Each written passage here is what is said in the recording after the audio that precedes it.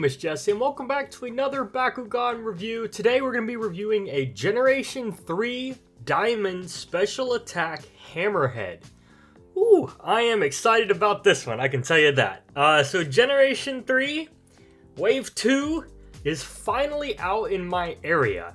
It feels like it took forever for Wave 2 to get here, but we are here now. Got a bunch of secret and special stuff to show you guys from this wave. Uh, got, of course, you got Hammerhead here on the side.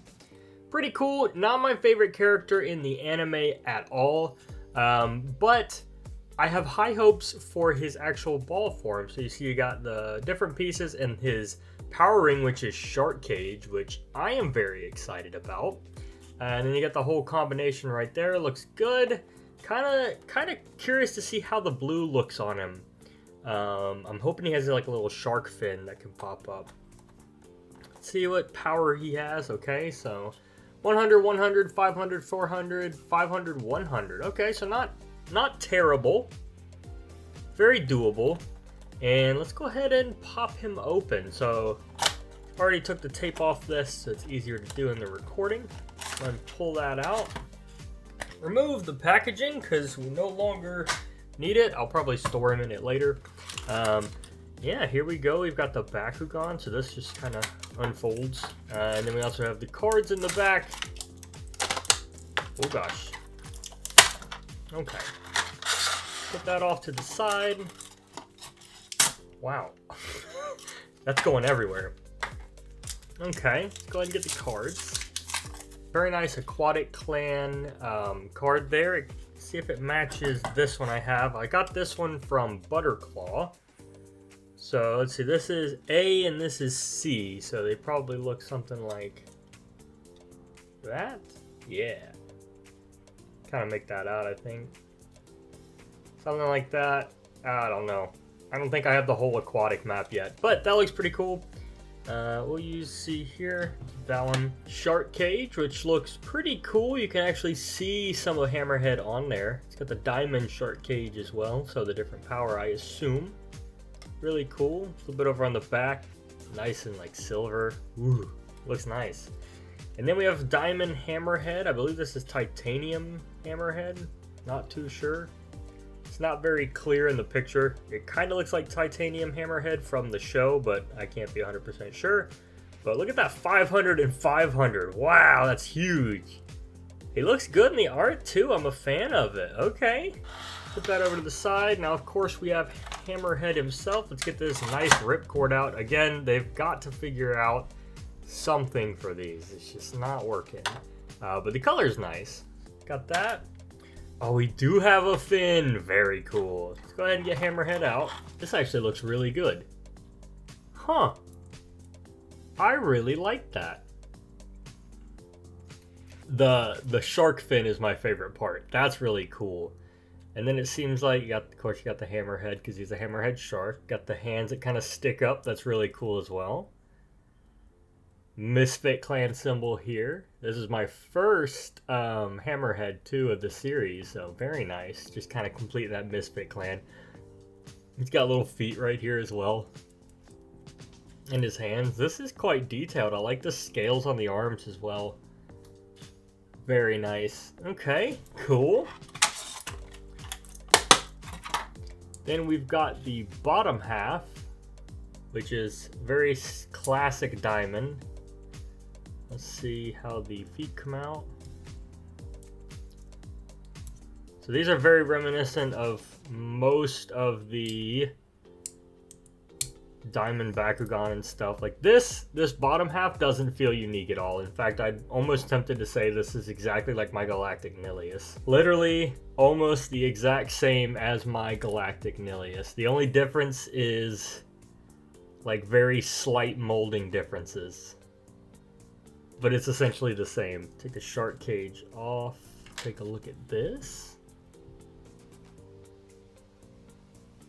That one's not as exciting as some of the other ones I've seen, but still nonetheless very cool. I do like the shark cage ring, the power ring. It's just very, it's very basic, but in a good way. Like I think it looks really cool. He's pretty cool looking. I don't think he's my favorite overall, but he has a very unique design, and I'm all for it. I'd like to see one that's not diamond just so I can get more color and like see him a little bit clearer, but it's really nice. It looks like he's kind of sitting on top of the actual special attack ring. Um, so that's cool. Let's see how we close him. So obviously, I'm gonna shut those.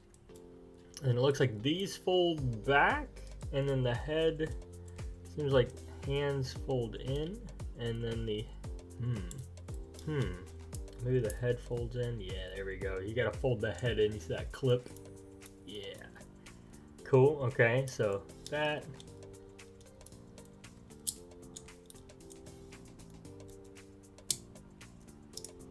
Hmm. Got the tail piece sticking out still. Okay, I'm not really 100% sure what I did there, but I'm glad I got it on video. Okay, cool. The colors on him look pretty good. I like the dark blue with the contrast to that light blue. It looks good. Little Misfit Clan symbol there. It's kind of off-center. Not terrible, though. We've seen worse from B1 Bakugan. Overall, though, looks like any other diamond you would expect, I think, at this point in the, in the game. Nice colors, though. Let's see how he spins. Hopefully this one spins well. Gonna put my aquatic cards down. Gonna make like some of the picture. Eh, kinda. It, it does the job. Alright, and we're gonna center this. Let's give him a nice little spin. Alright, ready. Three, two, one, brawl.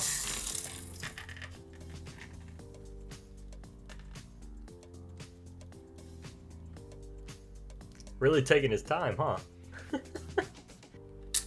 yeah! That was cool.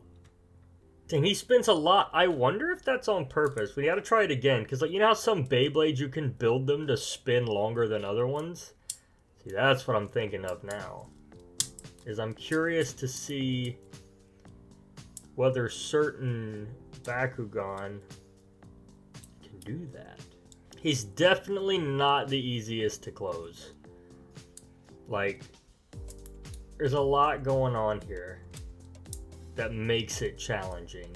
And that's probably probably Hammerhead's biggest drawback is to close him. There's just so much happening, and I'm sure there's a a better way to lock him in. But getting that tail in on top of the headpiece, immensely challenging.